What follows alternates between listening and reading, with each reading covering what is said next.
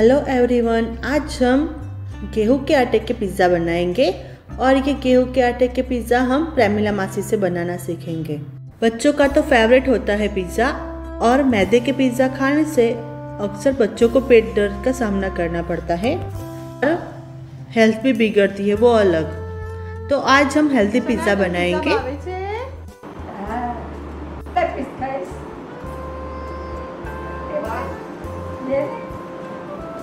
દિલન તો કઈ હોય તો બે તું આમ જ કહેશે જો આજે આપણે પીઝા બનાવીએ છીએ સનાના ભાવે છે એક જ પીસ ખાવાની છે વધારે નહીં બસ ને?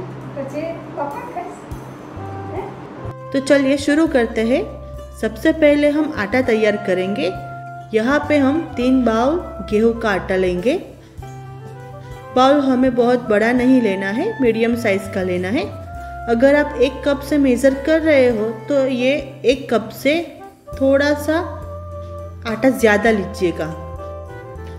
अभी यहाँ पे हम एक कटोरी में एक बड़े चम्मच तेल लेंगे। उसमें तीन बाउल आटे के हिसाब से यहाँ पे हम तीन चम्मच एक्टिविस्ट लेंगे। आपको कोई भी प्रोविज़न स्टोर से मिल जाएगी। यानी कि एक बाउल के हिसाब से हम एक चम्मच ईस्ट लेंगे। तेल में मिला देंगे और नमक ऐड कर लेंगे टेस्ट के हिसाब से। तेल ईस्ट और नमक को अच्छे से मिला देंगे। आटे में ऐड कर लेंगे।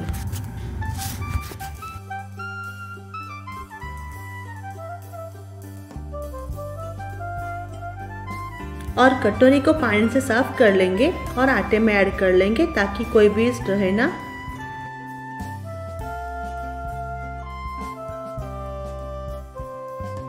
अभी गुनगुने पानी से आटे को तैयार कर लेंगे। पानी हम थोड़ा थोड़ा ऐड करेंगे। यहाँ पे हम रोटी जैसा सॉफ्ट आटा तैयार कर लेंगे। बाउल आटे के हिसाब से यहाँ पे हम चार मीडियम साइज़ के पिज़्ज़ा बनाएँगे। अभी आप लोगों को मन में सवाल होगा कि प्रेमिला मासी आखिर है कौन? वो मेरे हस्बैंड आकाश की मौसी है, जो यूएस में रहते हैं। अभी वो इंडिया आए हुए थे। और वो बहुत ही अच्छा पिज़्ज़ा बनाते हैं। तो हमने सोचा कि उनसे पिज़्ज़ा ही सीख ले। मासी के घर जब भी मेहमान आते हैं तो वो पिज़्ज़ा खाने की फरमाइश करते हैं। और एक मज़े की बात बताओ, प्रेमिला मासी 10 दिन के बाद आज ही हॉस्पिटल से डिस्चार्ज होके आए हैं। ट्वेंटी ईयर से भी ज़्यादा एज में वो बहुत ही स्ट्रांग पर्सन है पूरी फैमिली में। ऐसी हालत में मासी पिज़्ज़ा बनाने के लिए इतने एक्साइटेड है कि मैं बता नहीं सकती। थैंक यू प्रेमिला मासी ये देखिए, आटे को नीड करते हुए भी ये अच्छे से फूलने लगा है और काफ़ी हल्का भी हो गया है। अभी हम एक बेकिंग ट्रे में बटर और थोड़ा सा तेल को अच्छे से लगा देंगे। प्लेट को अच्छे से ग्रीस कर लेंगे। पिज़्ज़ा जो है हमारा नीचे से चिपके ना।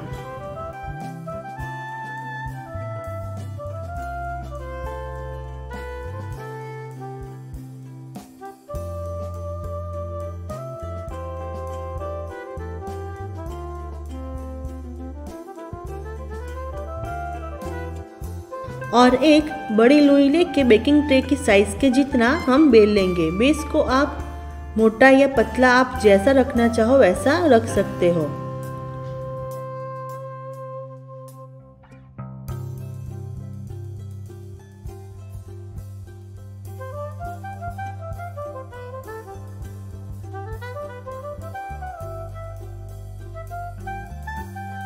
इसकी थिकनेस देखिए, मैंने इतनी रखी है। अभी ये और फूलेगा। अभी बेकिंग ट्रे में रख देंगे। अभी दूसरा भी तैयार कर लेते हैं।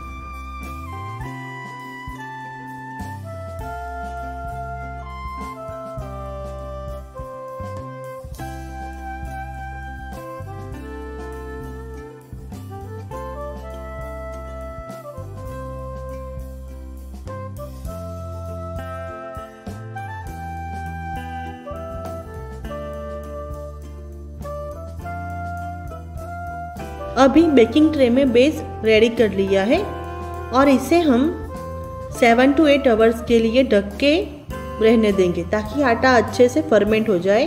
आप चाहो तो इसे ओवरनाइट भी छोड़ सकते हो। हमने आटे को ओवरनाइट छोड़ा था। अभी दूसरे दिन हम पिज़्ज़ा की टॉपिंग के लिए वेजेस तैयार कर लेते हैं। तो यहाँ पे मैंने ऑनियन ली है। शेप में काट लूँगी मैं इसे। आप अपने पसंद के हिसाब से कोई भी शेप में काट सकते हो। ग्रीन कैप्सिकम को भी मैं स्क्वायर में ही कट करूँगी। टमाटर लेंगे। यह ध्यान रहे कि टमाटर के बीज को हमें हटा देना है। येलो पेपर लेंगे। आप अपनी पसंद के हिसाब से वेजिटेबल को ले सकते हो। रेड पेपर भी लूँगी यहाँ पे मैं। रेड पेपर को भी काट लेंगे। आप ऑलिव्स मशरूम ब्रोकली पनीर, ऐसी टॉपिंग का भी यूज़ कर सकते हो आप। तो यहाँ पे हम ओवन को प्रीहीट होने के लिए रख देंगे। और यहाँ पे मैंने कम हाइट वाली स्टैंड ली है। यहाँ पे माइक्रो ओवन कन्वेंशन मोड का यूज़ कर लेंगे। 180 डिग्री पर 10 मिनट के लिए इसे प्रीहीट होने के लिए रख देंगे। तो अभी पिज़्ज़ा बनाने के लिए बेकिंग ट्रे में हमने जो बेस रेडी किया था, वो अच्छे से फर्मेंट हो गया है। अभी पिज़्ज़ा बेस की साइड में हम बटर लगा देंगे। बाद में हम पिज़्ज़ा सॉस लगा देंगे। ये होममेड पिज़्ज़ा सॉस है। अगर आपको इसकी रेसिपी चाहिए तो मुझे कमेंट करके ज़रूर बताना।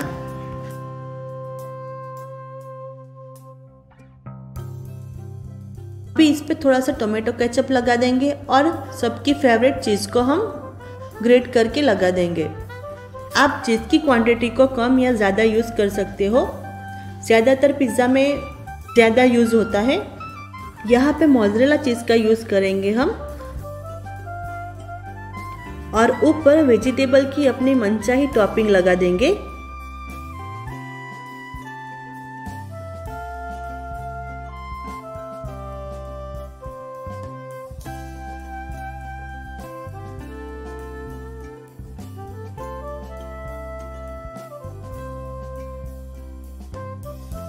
और ऊपर से थोड़ा प्रोसेस चीज़ लगा देंगे। इससे टेस्ट और भी अच्छा हो जाएगा। ओवन भी प्रीहीट हो गया है तो पिज़्ज़ा को हम बेक करने के लिए रख देंगे। फिर से हम कन्वेंशन मोड का यूज़ करेंगे। 180 डिग्री पे 20 मिनट के लिए पिज़्ज़ा को हम बेक कर लेंगे।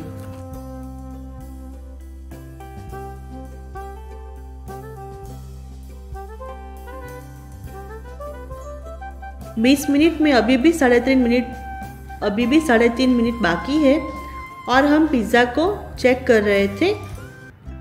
तो ये अच्छे से हो गया है।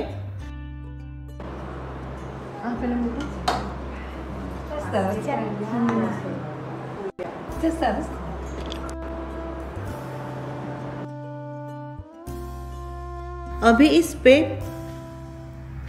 गार्लिक पाउडर ऑरेगानो और चिली फ्लेक्स डाल देंगे।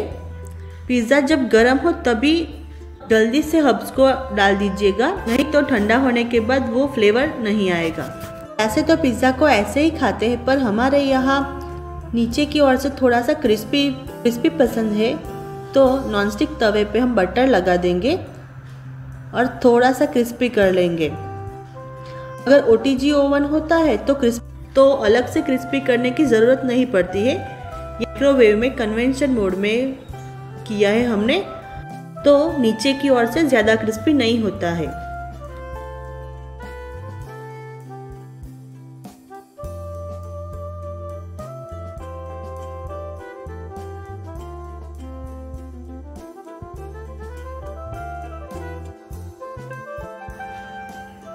अभी डेढ़ या दो मिनट के बाद पिज़्ज़ा को हम कट कर लेंगे।